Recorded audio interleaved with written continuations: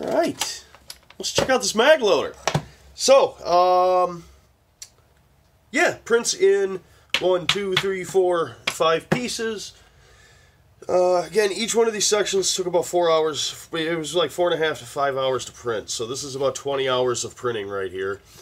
This was like an hour and a half. So takes most of a day. Uh, I've been running it since I went to bed last night. I got up, changed the file, and uh, yeah, came home twice today and changed it out again.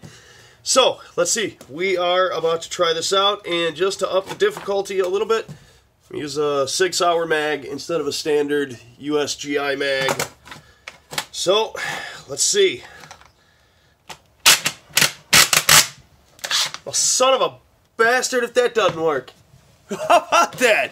All right. Not bad. Hell yes. Good lord. My desire to buy another one of these is growing by the day. Because goddamn if this isn't the most fun I've had in a while.